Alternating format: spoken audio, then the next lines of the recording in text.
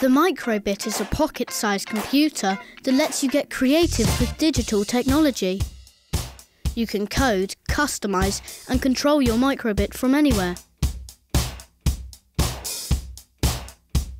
Light up the LED display to create something simple in minutes, or even communicate between microbits.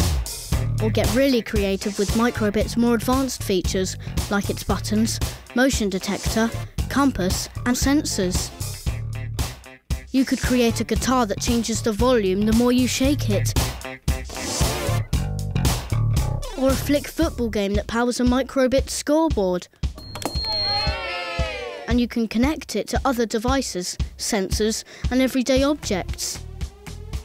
So you could water your thirsty plants, or use Bluetooth to take photos with your phone, and control your music player. And you can customise the microbit in any way you can imagine. It's really anything you want it to be. I think it's a bit like a robot. It's quite different to any other technology I've sort of used before. You just have fun with it. I can control my tablet.